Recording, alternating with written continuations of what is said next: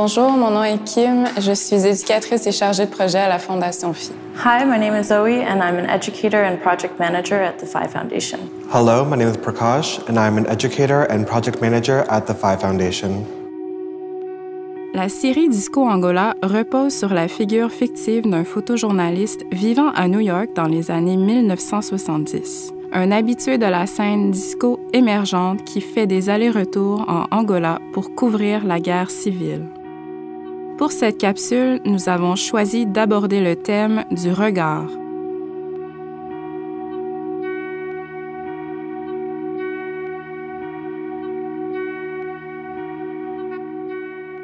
In the series Disco Angola, Stan Douglas is presenting two narratives that are happening simultaneously in the mid 1970s the disco movement in New York City and the beginning of the Civil War in Angola.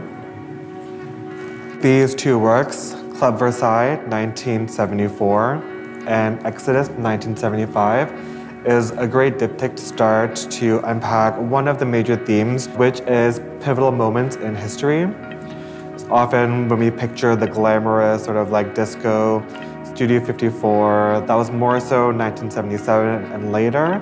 But here in 1974, this is really the debut of disco. This is really an assembly of people of marginalized communities who are feeling quite oppressed in their daily lives in New York for reasons of financial crisis, the Cold War, racism, of course, sexism, homophobia.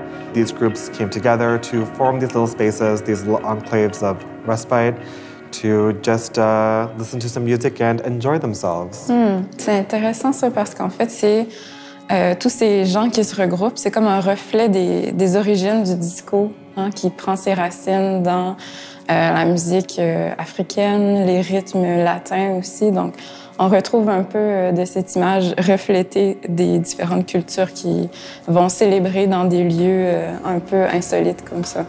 This is clearly the point between the War of Independence in Angola, in which uh, the Angolese militia fought off uh, the Portuguese occupation, and would then turn into the, the breaking point between different factions within Angola that would then form a civil war which would last uh, quite some time thereafter. So here in this photo, we see uh, a large group of people who are getting ready to leave Angola. And it's not only people of Portuguese descent who are aiming to leave, as we see in this photo, but quite a different collection of people, including people who appear to be native Angolans and other people of color that does sort of parallel what we see in, uh, in Club Versailles. In fact, Stan Douglas assumes the role of a fictional photojournalist in these photos, so he purposely makes the images feel staged so that the viewer might call to question the singular perspectives put forth by journalistic snapshots in historical events. With the angle of the camera, we also feel like we're observers in the scene. Yeah, and I think that this idea of staging does also come through in both the photos when we look at how sort of pristine everyone is. Club Versailles as a nightclub, people are very not sweaty, stiff poses that I think we also see in Exodus.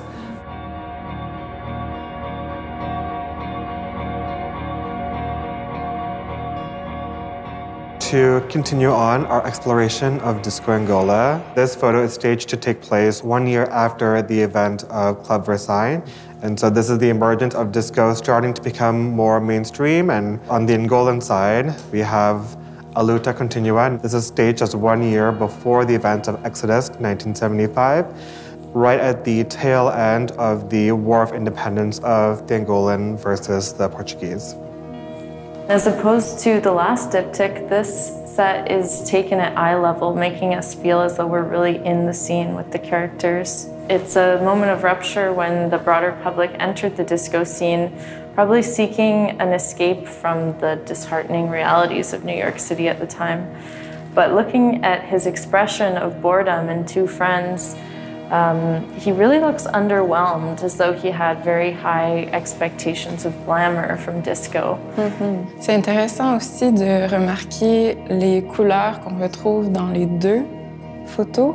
de par l'habit, en fait, du, du, protagoniste, comme tu mentionnais, qui est habillé tout en vert, on a vraiment l'impression qu'on pourrait la retrouver dans les années 70 à New York au même instant. En fait, ces personnages-là pourraient être interchangés. Il y a toutes ces couleurs qui nous font penser au drapeau panafricain, donc ça amène aussi cette idée de qu'est-ce que ça représente, euh, cette femme, qu'est-ce que sa présence évoque. Euh? Stan Douglas actually worked with an archive. The archive was actually of a white sympathizer standing in front of a similar cinder block background with the same letters painted on it MPLA for the People's Movement for the Liberation of Angola.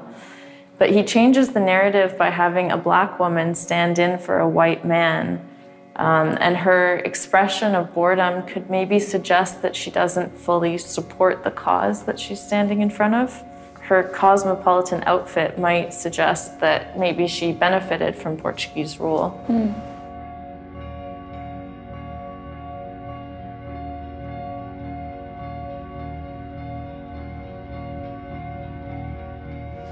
Avec euh, Kung Fu Fighting 1975 puis Capoeira 1974, on voit un peu cette idée de euh, moment intime qui prend vie.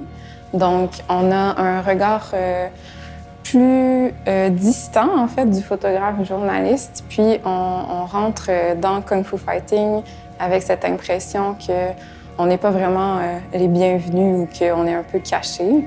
Puis c'est quelque chose qui est répété aussi avec euh, Capoeira, où ces rebelles angolais qui forment un demi-cercle semblent euh, vivre un, moment de relâchement où ils peuvent s'exprimer à travers leur corps. Puis le fait que Stan ait choisi euh, la capoeira est intéressant aussi parce qu'en fait, c'est une forme d'art martial brésilienne qui s'apparente à la danse puis qu'on voit euh, émerger au Brésil.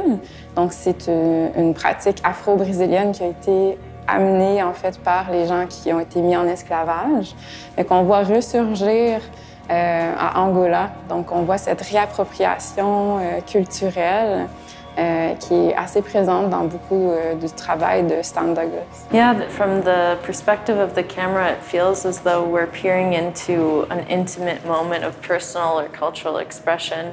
It feels as though we're observing something that we shouldn't be. On peut dire que Stan Douglas s'intéresse vraiment aux relations au centre de ces grands événements historiques, en fait. Il donne de l'importance euh, à ses personnages. A aussi une aura de mystère qui revient très souvent, qui ne donne pas tout à fait accès aux pensées euh, de toutes ces personnes, mais on peut s'imaginer toutes sortes de scénarios. Puis je trouve que ça donne encore plus d'importance au travail euh, qu'il fait.